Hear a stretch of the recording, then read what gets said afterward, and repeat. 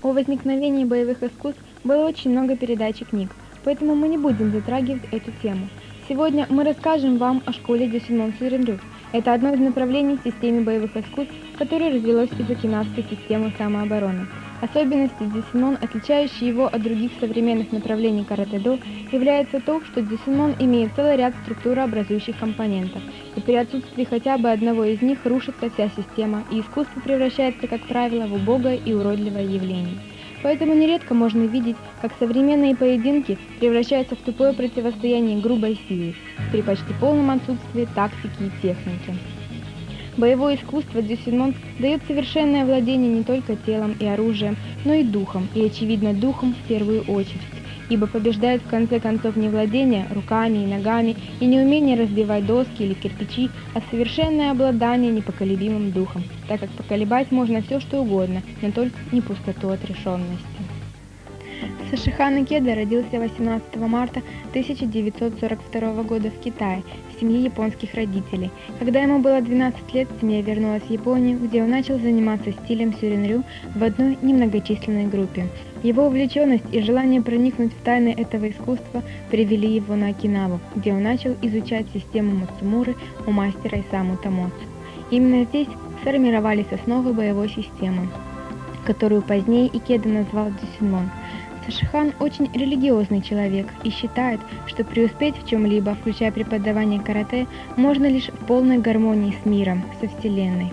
Изменяются времена, изменяется мир, однажды рассматриваемый изгоем в карате Сашихан Икеда, сегодня уважаемый лидер и глава направления, который является одной из сильнейших групп в системе боевых искусств Японии и мира.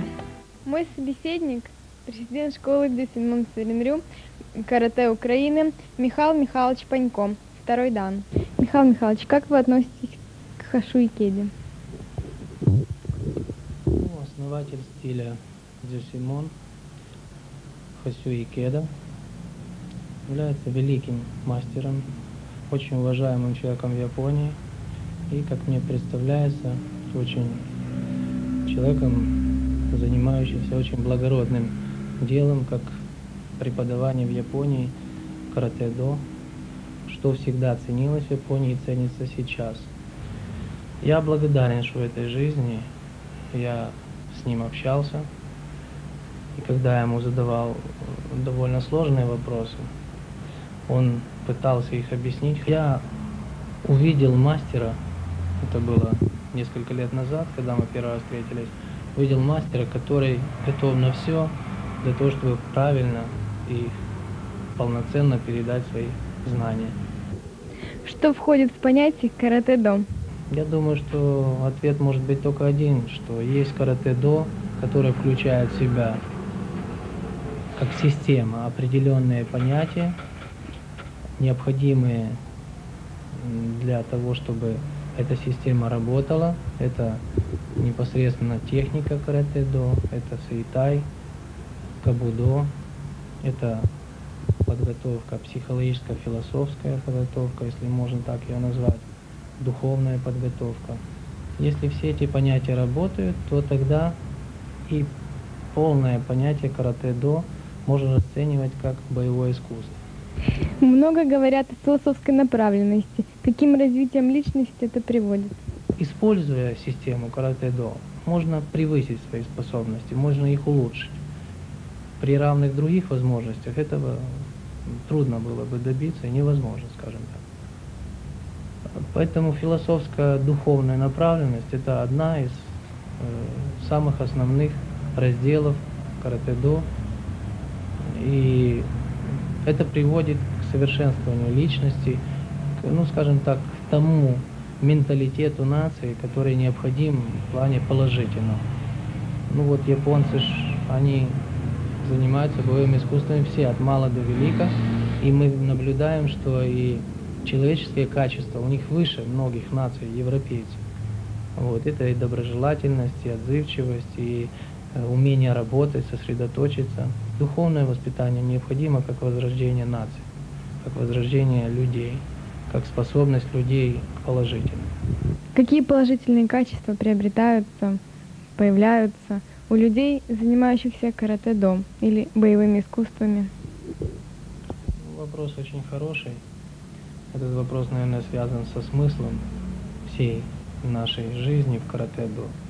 Зачем мы этим занимаемся, почему тратим столько времени, хотя могли бы уделить это время на другие цели.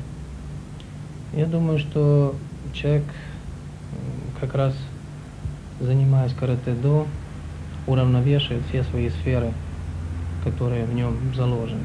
Это духовная, интеллектуальная, физическая сфера, которые не всегда в гармонии.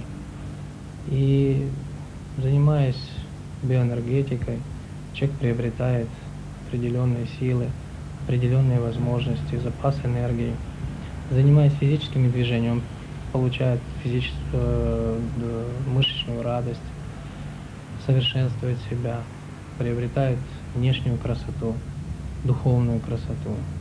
И мы больше всего стараемся, чтобы вот ребята, которые приходят к нам где-то еще в жизни, имея какую-то агрессивность, какую-то злость, ну, по разным причинам, э, могли, так сказать, избавиться от, от таких, э, скажем, недостатков и смогли всегда понять своего партнера, своего врага или противника, могли войти в его положение, могли простить, могли почувствовать свою силу, которую не надо использовать, которую можно, скажем, пустить в положительную сторону.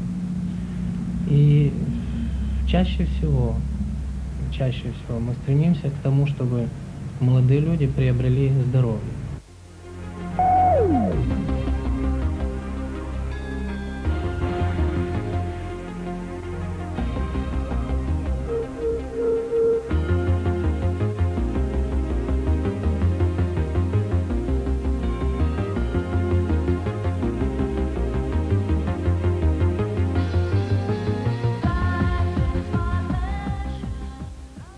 Какая школа в боевых искусствах, на ваш взгляд, самая лучшая?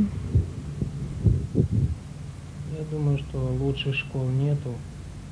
Есть, скорее всего, лучшие или худшие учителя, лучшие или худшие ученики. Поэтому сводить к тому, что в какой-то школе существуют особые какие-то приемы, вот, это не делают и наши учителя, это не делаем и мы.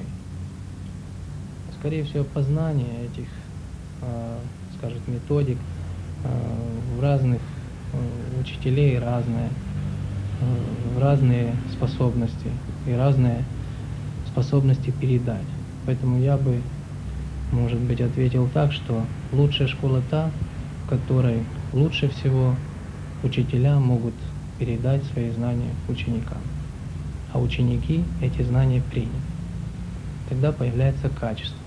А вообще здесь с этим вопросом вашим связан еще вопрос о том, что при передаче знаний от учителя к ученику э, очень много теряется. Особенно если это звенья, в которых есть еще промежуточные какие-то сэмпаи или, скажем так, ученики учеников. Михаил Михайлович, а вы можете назвать себя сенсеем? Сам себя назвать сенсеем не могу.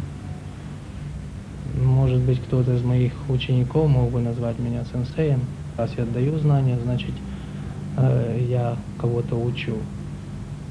Но каждый для себя должен решить, кто его сенсей. Э, для душа все подскажет. Если этот человек, кроме техники, еще передает знания в жизни, умения в жизни, понимание жизни, духовную сторону, э, скажем так, показывает пример, то тогда, я думаю, можно этого человека назвать сенсеем.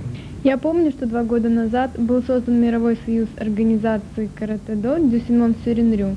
Вот что означает Сюринрю, вот эта приставочка? Вот у нас даже на значках есть. Вот. Ну, Шуринрю Сёренрю, ну, японцев что-то среднее между Ш и С. Это дань истории нашей школы. Это приставка, означающая происхождение стиля Джусимон.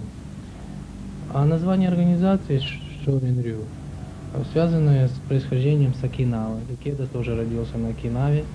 Это местность, где был основан Шаолинь. И оттуда стиль распространился по всей Японии и потом по всему миру.